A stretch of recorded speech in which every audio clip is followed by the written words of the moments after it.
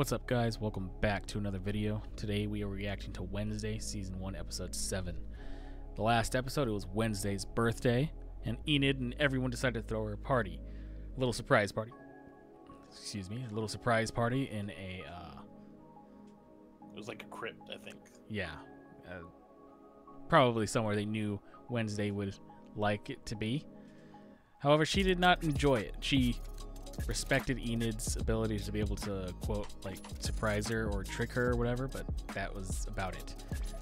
She also got her matching scarf things. Uh, not it, it wasn't a scarf. It was something else. Like That's why I said thing. Scarf thing. Yeah, it was like it was weird. like, um, it just looked. I don't. I don't know what it is, but it just looked so weird. Like I don't. I understand she's supposed to be fashion, like into fashion and shit, but like, do people wear that stuff? Does Yes, that look you- you good mean to it- people? Yes, you never see people wear those things? No. Okay. oh, people do. Uh, she got uh, she obviously made it black because that's Wednesday's color. That's what she's known for. And um,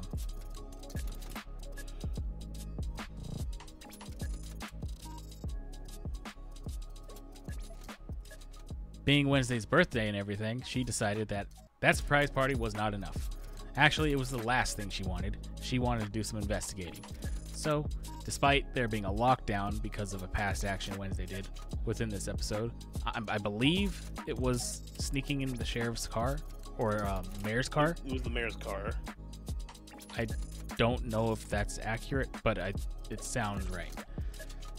That action got her um, in trouble with the mistress, leading to the lockdown. However, she wanted to go out still and investigate the the Gates mansion.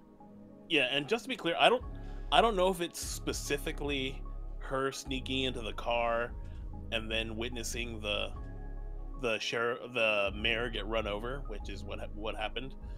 I think it might have had more to do with the fact that literally whenever something like this happens, Wednesday is always there. maybe. But she went and she um, tricked Tyler and Enid into thinking that she's gonna go on a date with Tyler for her birthday, and then Enid and her are gonna have a girls' night out for her birthday. Tyler for the ride, Enid for just more bodies, I guess. Well, no, Enid Enid was her way of getting out of the school because they were on lockdown. So Enid came up with the excuse that uh, she needed to be locked up because she was going to wolf out or something like that, Oh yeah. and when Wednesday needed to escort her. Right, that's right. So they go to the mansion and the monster shows up. How I don't know. I was expecting like someone to go inside there, but the monster did. And because of this, because they almost died, Tyler got hurt and the sheriff told her to stay away from him. Enid now is really pissed off at Wednesday, decided to go stay in someone else's room it seems like she doesn't want to really be her friend. She went off on Wednesday, and now Wednesday is kind of just by herself. So, we'll see, I guess. Uh, if you guys are interested in our full length reactions, you can check us out on Patreon. The link is down in the description below. So, with that being said, let's just jump right in. Season 1, Episode 7. I enjoy funerals. I've been. What? I'll be ready.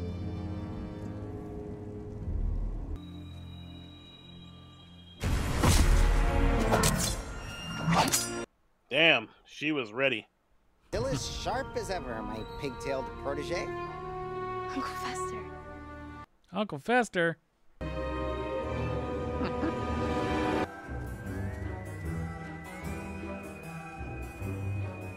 Oh, the bee, the bee place, the shack. Those bees are hibernating. They're practically Eugene's children. That means do not eat them. Ah, Olga Malikova. Jeez, she had it all. Beauty, brains, and a penchant for necrophilia. What? oh my god. You think your parents can't keep their hands off each other now? Why, they. I showed up unannounced one night in Gomez's dorm room. Let's just say I wasn't interrupting a pillow fight. I don't think Wednesday wants to hear about this shit. If you are discovered, I will disown you and collect all the reward money tied to your capture. Damn. Oh my god, dude. Leave the bees alone. My novel started out as a twisted fiction. It's crazy how different she looks in everything she's in. Cause like, she looks a lot younger here than she does in you. Really? I think so. No. I can't seem to find my bottle of Silver Moon nail polish. Do you mind if I look around? Was I an annoying distraction? You definitely had some annoying habits. Such as? You giggle when you text, which is a 24 7 addiction. As opposed to late night cello solos? You overcommit to clubs and activities and then complain about them nonstop. I'd take that over your obsession with all things creepy and dead. You could gas an entire small village with the amount of perfume you spritz. Oh, shit. Enjoy your solitude Wednesday. It's not solitude if you're still here. Does Wednesday actually miss her? I don't know. She was They're gonna- being, like surprisingly catty. Well, they're they're gonna end up back together, right? By the end of the Yeah. episode. Of course. To investigate, you tried to kill him so you wouldn't spill your little secret. You think I would hurt Eugene Yes. if I am the monster? Why haven't I killed you? Uh, it's obvious. Because for some reason I cannot fathom or indulge you seem to like me. Yes. What's to like? Uh, you tell us, You- motherfucker. Exactly, Like- man. Like you're the one who has this unhealthy obsession with her. Yeah, she's been. I, I mean, not to be rude, but she's been a complete bitch to you, and you, for whatever reason, just can't get over it. Have you been lurking? Long enough to feel the tension between you two. Yowza! I never knew Uncle Fester had lightning powers. How'd you swing your own single? My former roommate couldn't handle my toxic personality. At least she's self-aware. Oh, don't worry. Just a tiny spark. Barely perceptible to the average eye, but I noticed. Well, you're average, right? Uncle Fester? Hey! How do you get in there? Old Lobo has its perks. Get to live by your own rules, do whatever you want. Just look at me. Yeah, don't you want to strive to be like him? The fuck is that? I picked it up on my way out of town. You know me. I like to travel incognito. What? Come on, let's roll. Oh, the fucking ears. Yeah.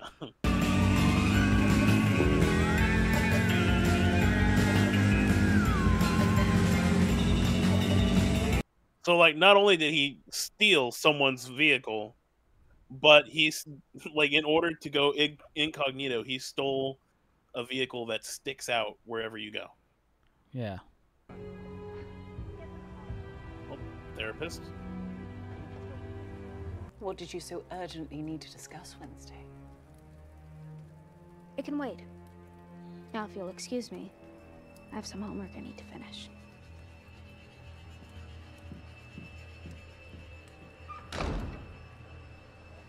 That looked weird, right?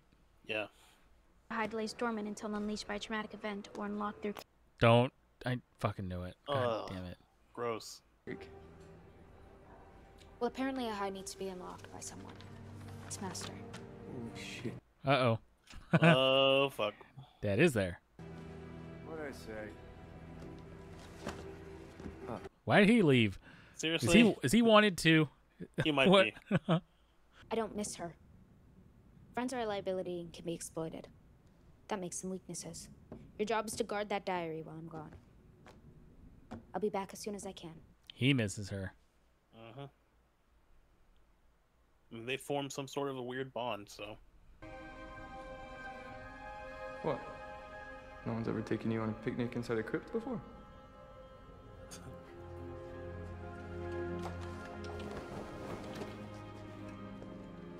you set up for a movie. Looks like. Oh, she likes it. Prepare to be horrified. Sun's up. Oh no.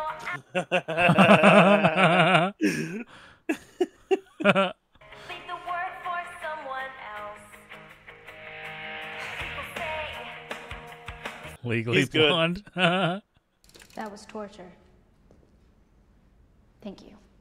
I will ignore you, stomp on your heart, and always put my needs and interests first.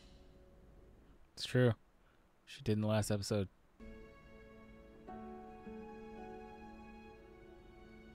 Things are going too well. I'm starting to think he's the Hyde. I'm not gonna even ask what this is, but I never saw the two of you here. You got it? Unbelievable. Come on. Yeah, well, you totally killed the mood for your son, man. So. Yeah, dude. Well, at least he's just kind of like, eh, whatever about it. It's not being a complete dick.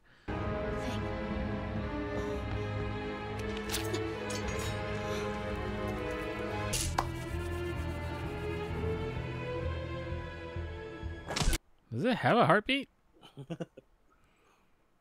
It has to live somehow, right?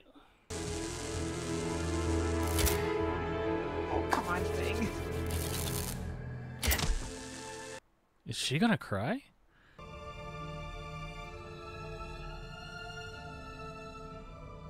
Come on, they can't actually kill off Thing. No. If you can hear me, if you die, I will kill you. What? Promise that whoever did this to you will suffer. And it won't be slow, long. Come with me. I have information about Mayor Walker's murder. No, she doesn't. He was trying to track down someone. Laurel Gates. Looks like he started right after Outreach Day. He must have recognized her there. I know you're Laurel Gates. And you've come back to Jericho to seek your revenge. You know what? I don't have time to deal with your delusional fantasies. I have a pa- Way to talk to a patient, huh? Jay. You need help. More help than I can give you. Who you calling, Xavier? Judge Reynolds. I'm going to recommend you stay in a juvenile psychiatric facility for observation. that sounds kind of extreme. Yeah. Very like irrational behavior from psychiatrist. I wasn't aware that Wednesday had a session today. She didn't, and her behavior was completely irrational.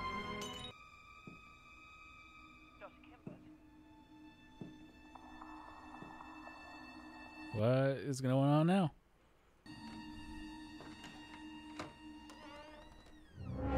What the fuck? Ah, shit. Okay, well, well, never mind. Yeah, we're wrong. She's dead. Or is she just in the hospital like Eugene? Because apparently no one dies. Now the monster has uh, sympathy. Like, come on. Finish the damn job. Fucking failure. She's gone. Oh. It did. All right. Why didn't he take Eugene then?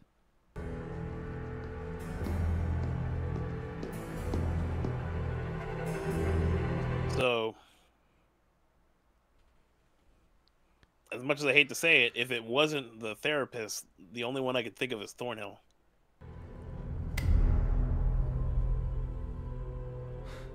Oh shit. she got a knife. How long have you been seeing Kinbott?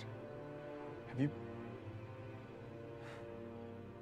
What am I saying? Of course you have. You've been spying on me, right? Motherfucker, you drew her playing cello. What is Rowan's inhaler doing in your shed?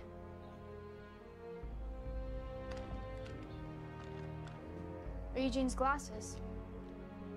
Whoa, whoa. He has no idea how they got there. Well, theoretically, if if he is a Hyde, like Oh yeah, he wouldn't know. going, right? yeah, going based off of the Jekyll and Hyde story, he would have no idea. Now that doesn't necessarily mean he is. Like this could still be a red herring. Anything you say can and will be used against you in a court of law. You have the right to an attorney. If you cannot afford an attorney, one will be appointed for you. Appreciate the help, Addams. You! You framed me! I should have let Rowan kill you. Yeah, that sounds real innocent. Yeah, I was gonna say. I, I mean, I do, for the record, I don't think he's the Hyde. probably not. But you know, after that comment, just let him take the fall. Yoko's great. I just decided I needed a few more boundaries. Skip the tape. Don't tell me Wednesday Addams is mellowing out. Never. This sudden change of heart. Because we work. We shouldn't, but we do. It's like some sort of weird friendship anomaly. Everything you said about me. It's true. Thing said he missed you. I missed him too. How about dead thing? Missed that. We're closed. Then you should lock your doors. There's some real sick people out there.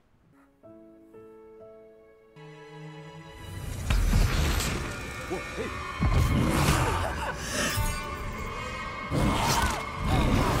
Holy shit. Uh. What? Well, fuck. What? First boy I kissed would turn out to be a psychotic, serial killing monster. I guess I have a type.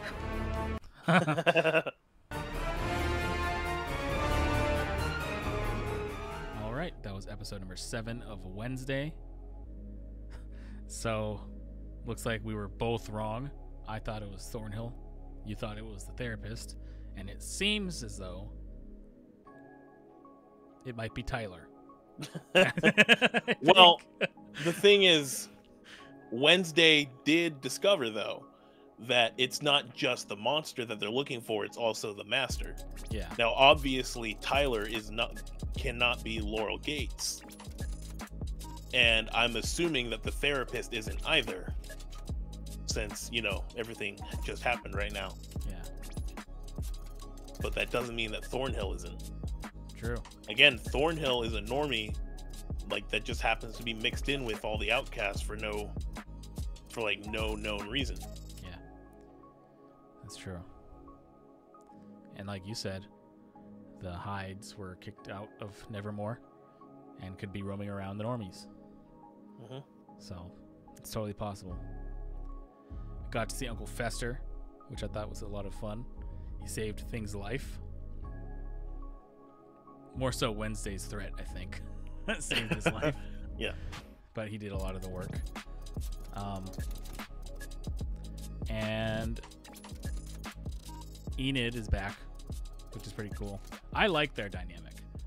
Obviously, one's a girly girl, the other's the devil. I think it's a great combination of friends. Yeah, I mean it's a it's a real it's an odd couple. That's I know Tyler being the monster revealed as the monster or the Hyde is probably the biggest thing. But also, Xavier was arrested. So that I think is also a really big thing. And I wonder how she feels now because it's basically been proven that he's innocent. yeah. I mean it proves that she framed him. Uh, the I will say this, I really hope that Tyler being proven to be the actual monster doesn't just open up the Wednesday Xavier relationship path Oh god. I in this show. not. Seriously, he's such a whiny baby. Like I, can't. I don't I don't like them together. The, the, he's just kind of annoying. And I thought it was so rich and fucking just amazing how he was like, "Oh, you're stalking me. Like, you won't just leave me alone already." Like, are you fucking kidding me? She has legitimate questions because you are suspicious, motherfucker. And you instead of just answering the questions because you know you're innocent, you want to sit here and try to act like, "Oh, you you just won't leave me alone." When you forced her to ask you to the dance, you keep following her around and like are you are you serious? That shit bothered me. I don't know. uh the therapist is dead. Eugene is still alive, which is really annoying. I, I don't know why that bothers me so much. but yeah. The next episode is the finale, so I can't wait to see where that goes. Uh, I'm hoping we do get to see the Addams family kind of reunion, like reunite again. It only makes sense. Hopefully, uh, like, would it be the end of the school year? You know, I don't think it's been long enough, so. I don't know, but can't wait. Next is the finale. Should be interesting to say the least. The sheriff. I want to see his reaction to his son being the Hyde. That'd be crazy. He's been quote looking for him because I mean, let's face it, he hasn't been. I was gonna say earlier, but I didn't. I loved how he was over there investigating the the um, bike being stolen, right? Doing his job. Yet there's this monster on the loose, and like Wednesday has to fucking like legit. do, she has to do all the work. Yeah, do everything for him to get off his ass. Oh, but let's go check out this armed robbery. That get out of here. I don't know, but uh, I do think his um, reaction to Tyler being the Hyde is going to be interesting because he's been living with him. Well, it's gonna be denial for one. Maybe, but we'll see if he reveals himself to him. Who knows? Anyway, hopefully you guys enjoyed our reactions. If you haven't already, please hit the like button, subscribe to the channel if you're new, leave a comment down below, and uh, if you're interested in full-length reactions, you can check us out on Patreon. The link is down in the description below. So with that being said, we will see you guys in the next one.